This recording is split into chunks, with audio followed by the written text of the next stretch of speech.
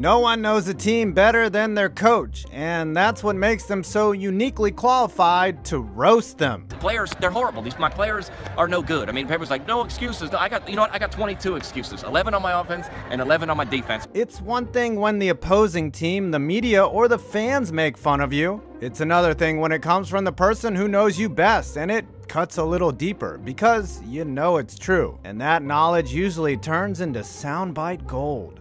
Coaches savagely roasting their own teams is coming up right after this.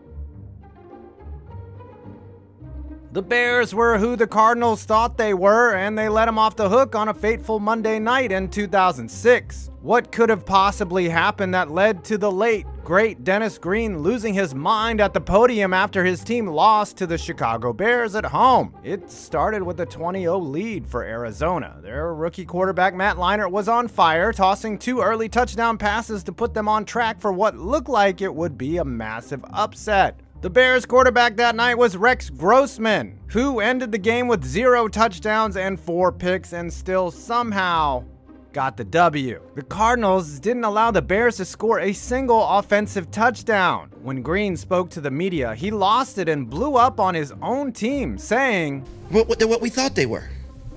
We played them in preseason. Who the hell takes a third game in the preseason like it's bull? We played them in the third game. Everybody played three quarters. The Bears are who we thought they were. And that's why we took the damn field. Now, if you want to crown them, then crown their ass. But they are who we thought they were. And we let them off the hook. What Green meant by all that was the Cardinals had figured out in the preseason that the Bears were a largely one dimensional team, relying heavily on their defense. And since Arizona had figured out their defense and scored 23 points, that should have been enough for the win. But sloppy mistakes allowed the Bears to come back despite the Cardinals' game plan working to a T. Hey, an epic rant nonetheless.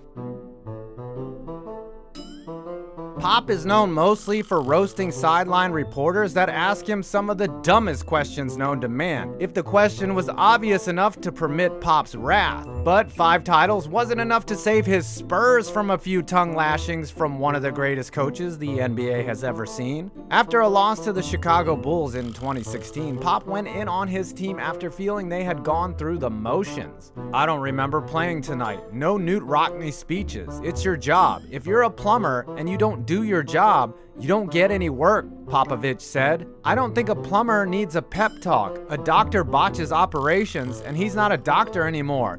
If you're a basketball player, you come ready. It's called maturity. It's your job. Damn, that's savage. They were 18 and 5 at the time, by the way.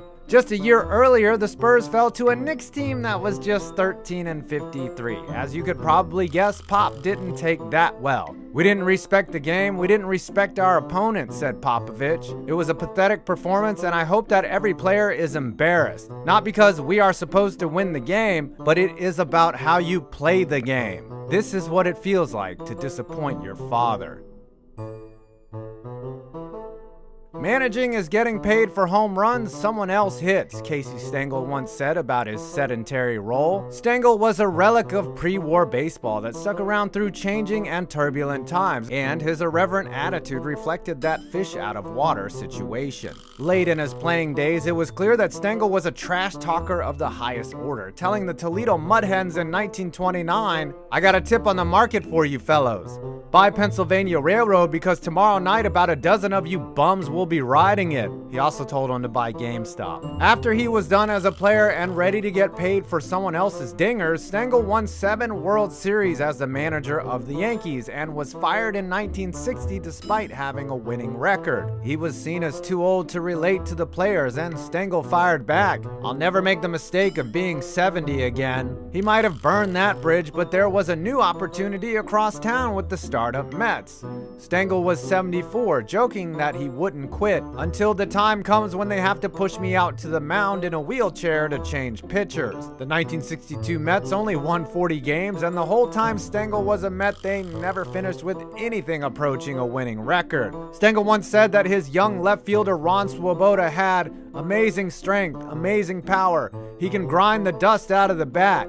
He will be great, super, even wonderful. Now, if only he could learn to catch a fly ball. When you lose close to 100 games every season, you have to make everyone laugh or else they may start crying. We're a much improved ball club, Stengel said about his Mets at the end of his career. Now we lose in extra innings. And of course, he uttered the now iconic saying, Can anybody here play this game? Damn, son, that's cold. The playoffs in this economy? In 2001, Jim Mora and the Indianapolis Colts were just trying to win a damn game. Everybody remembers Peyton Manning's Colts as the juggernaut that won double digit games every single year, but that isn't the case here.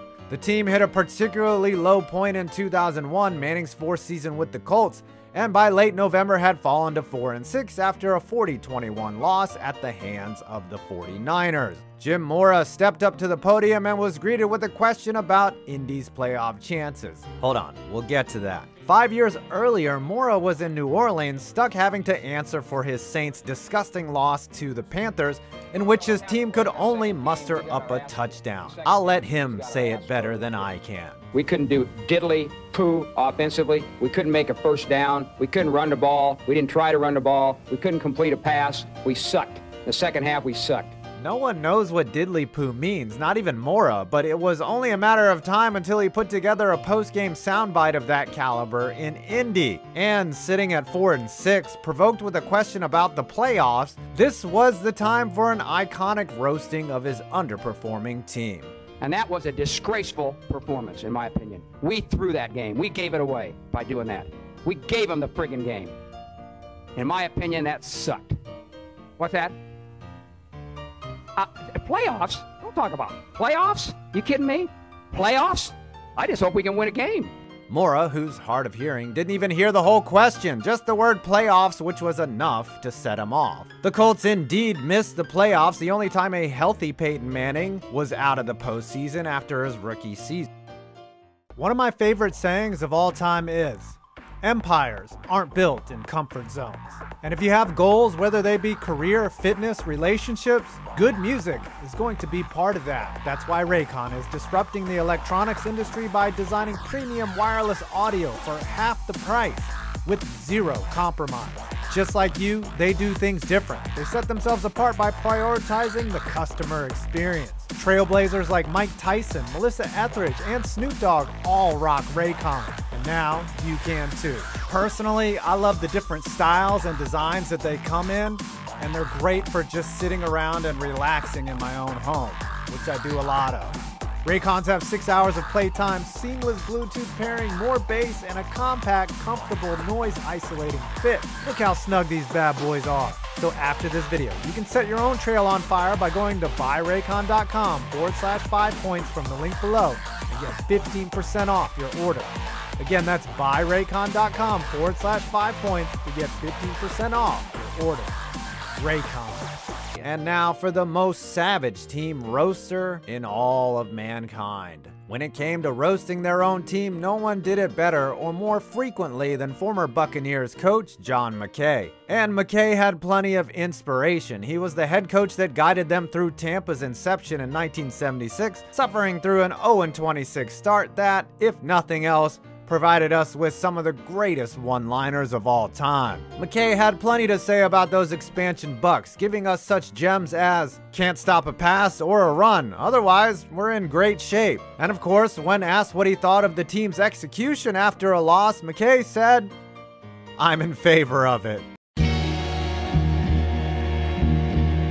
When the Bucs finally broke through and won their first game in 1977, McKay was hopeful about their chances of making the postseason at 1 and 12, saying, "Three or four plane crashes and we're in the playoffs." McKay eventually did lead the Bucs to the playoffs by their fourth season, and despite finishing his head coaching career 44 games under 500, managed to stick around for nine seasons in Tampa Bay. Even with all the losing, how can you fire a guy who summed up coaching an expansion team by saying, you do a lot of praying, but most of the time the answer is no. We appreciate a losing coach when they share in some of the pain the fans are feeling. And maybe that's why we love when coaches roast their own teams. Because our own frustrations as fans gets validated.